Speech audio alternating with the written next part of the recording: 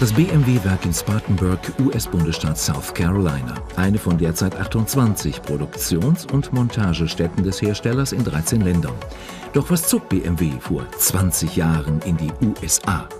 Drei Themen damals. Einerseits das Marktwachstum in den USA, was wir gesehen haben, dass wir dort weiteres Potenzial haben. Ein zweiter ganz wichtiger Grund war das Thema Natural Hedging die Unabhängigkeit sozusagen vom US-Euro-Wechselkurs, weil eine Fertigung in den USA uns dadurch natürlich die Möglichkeit gibt, in Dollar-Wertschöpfung zu generieren. Und das Dritte war, dass wir glaubten, die Marke wird sich hier auch weiterentwickeln. Und äh, der SUV-Markt in den USA war damals sozusagen das Home-Turf. Und da haben wir gedacht, wenn wir eine Produktion hier in den USA starten, dann werden wir die Marke und äh, die BMW Group weiterentwickeln. Den 20. Geburtstag feiert BMW im Werk ganz nah an der Produktion in einem schlichten Festakt. Der neue X4 fährt auf die Bühne. Er ist sozusagen der kleine Bruder des X6 und soll als kompaktes SUV Coupé die Straßen erobern.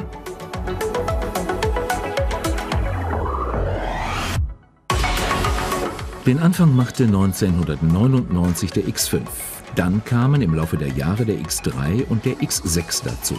Gebaut werden die Fahrzeuge nicht nur für den einheimischen Markt. 70 Prozent der hier gebauten Autos gehen in den Export in über 130 Länder, auch nach Good Old Germany. Das bringt uns zu der Frage, wie das eigentlich so ist mit der deutsch-amerikanischen Zusammenarbeit.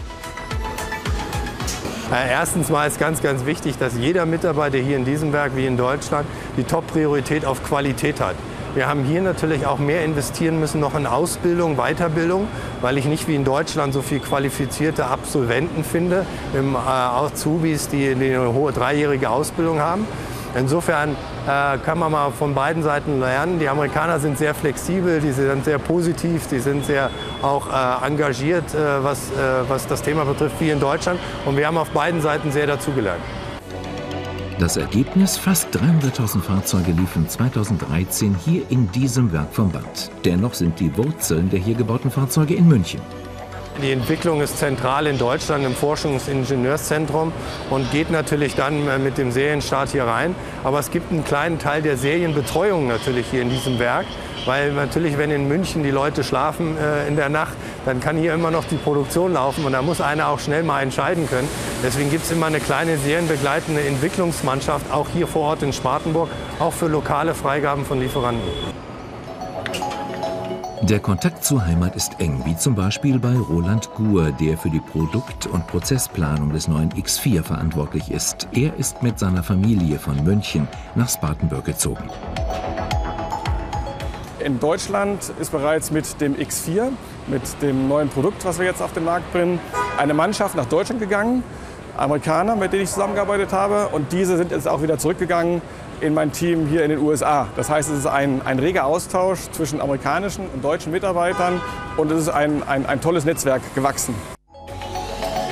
Von Beginn an ist auch Charles Jeffrey in Spartanburg mit dabei. Im Vergleich zu amerikanischen Arbeitgebern schätzt er, dass er bei BMW ganzheitlicher in den Entstehungsprozess eingebunden ist.